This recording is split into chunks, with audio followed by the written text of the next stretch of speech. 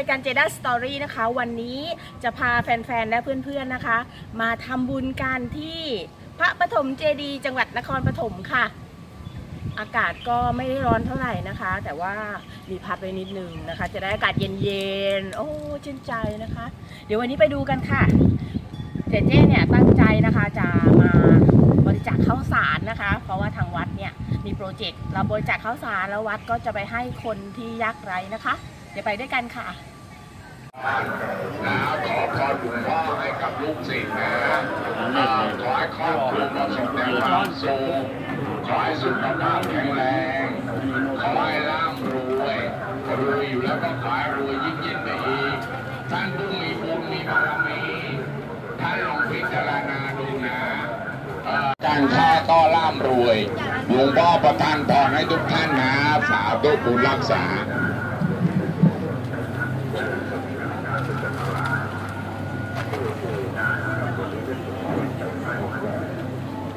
นาบอกว่าจะไปหา นะเออมาหุงข้าวให้กิน จะไปขอยืมข้าวเพื่อนบ้านมาหุงให้กิน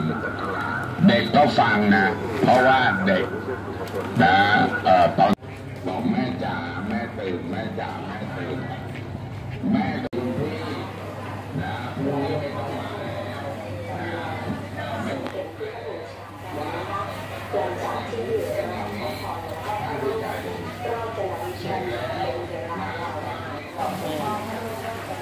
เอาค่ะ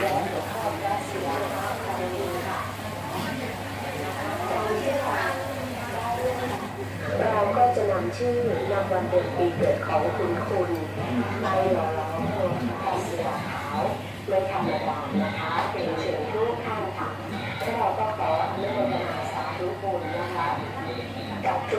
พาะบะหมี่ปูรสนะท่านลองคิดดูสิว่าเอ่อซองละหกบาทนะกินกันตั้งสามสี่แม่ลูกสามสี่แม่ลูกกินนะ